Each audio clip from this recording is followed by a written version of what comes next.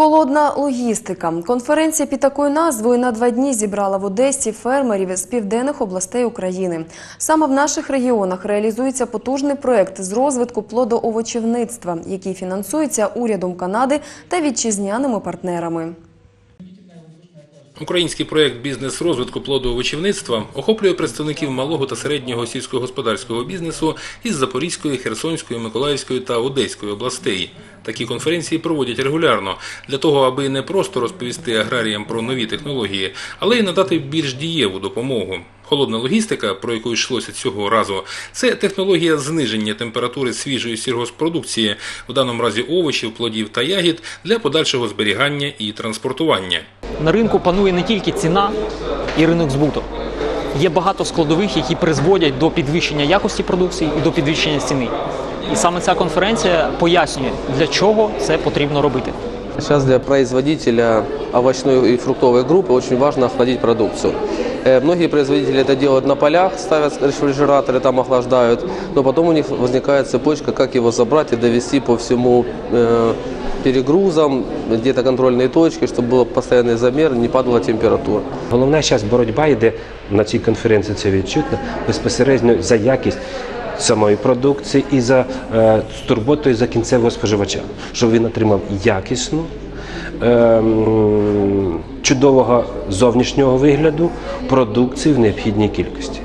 Досвідчені спікери пройшлися разом з учасниками конференції по всіх ланках так званого холодного ланцюжка, презентували оригінальну тару для охолодження і тривалого зберігання продукції, закликали представників малого та середнього сільськогосподарського бізнесу до ефективного об'єднання та кооперації для спільного результату.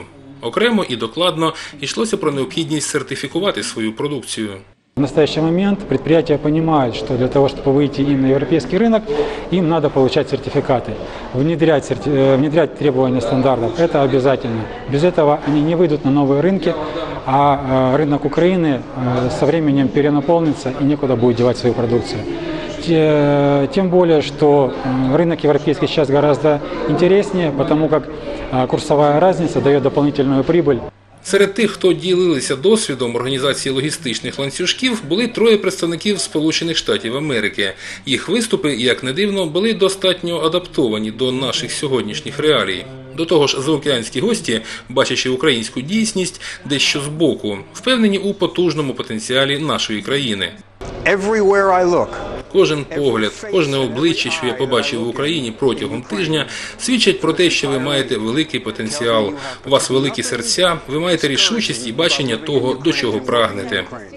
Запитання або й дискусії між спікерами та учасниками конференції свідчать про те, що з одного боку тематика актуальна, з іншого, поки що далеко не всі фермери усвідомили необхідність вкладатися у сучасні технології не лише для виробництва, а й для більш успішної та з мінімальними втратами реалізації своєї продукції.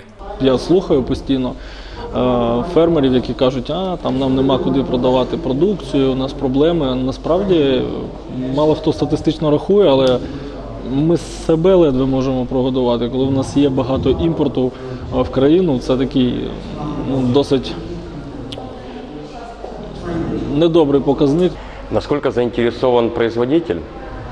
Ну, наверное, это вторичный вопрос. Первичный, когда он осознает, что это ему необходимо. Когда больной однозначно примет для себя решение, что ему нужно лечиться, а не ходить к бабкам, я не знаю, там, заниматься другим альтернативным лечением, тогда процесс выздоровления пойдет намного быстрее и эффективнее. Докладніше про конференцію, присвячену впровадженню на півдні України технології холодної логістики, ми розповімо у програмі Південні лани у вівторок, 9 серпня, початок о 20.00. Федір Бондар, телевізійні новини Миколаївщини.